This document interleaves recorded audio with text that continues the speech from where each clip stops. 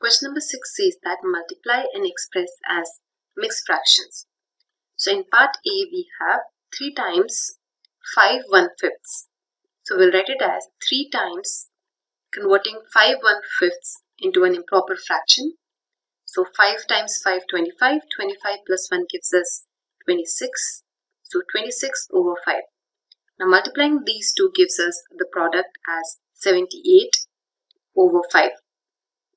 Now when we divide 78 over 5, we get the quotient as 15 and the remainder as 3. So the mixed fraction for this will be 15 3 fifths. Now coming to part B, we have 5 times 6 3 fourths.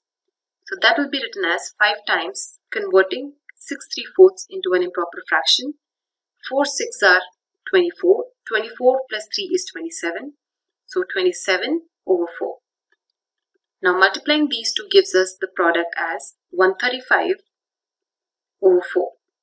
So when we divide 135 by 4, we get the quotient as 33 and the remainder as 3.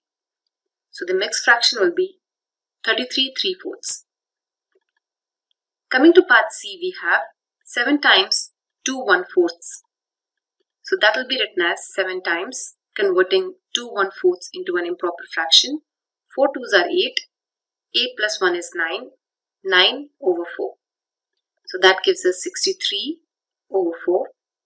Dividing 63 by 4 gives us the quotient as 15 and the remainder as 3. So we get it as 15 3 fourths. In part D, we'll do the same thing. 4 times 6 1 thirds will be converted into an improper fraction. 3 6 are 18. 18 plus 1 is 19. So 19 by 3. The product for these two will be 76 over 3. When we divide 76 by 3, we get the quotient as 25 and the remainder as 1. So it will be 25 1 thirds. The mixed fraction for this is 25 1 thirds. Coming to part E, we have 3 1 fourths times 6. So the improper fraction for this will be 4 3s are 12 12 plus 1 is 13. 13 over 4 times 6.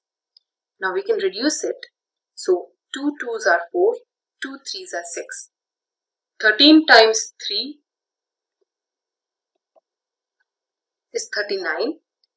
So we write it as 39 by 2. When we divide 39 by 2, we get the quotient as 19 and the remainder as 1. So the mixed fraction for this will be 19 1 halves. The last part is part F where we have 3 2 fifths. We'll convert this into an improper fraction. So we get that as 17 over 5 times 8. The product comes out to be 136 by 5. So when we divide 136 by 5, we get the quotient as 27 and the remainder as 1. So the mixed fraction for this will be 27 1 fifths. And this is how we solve this problem.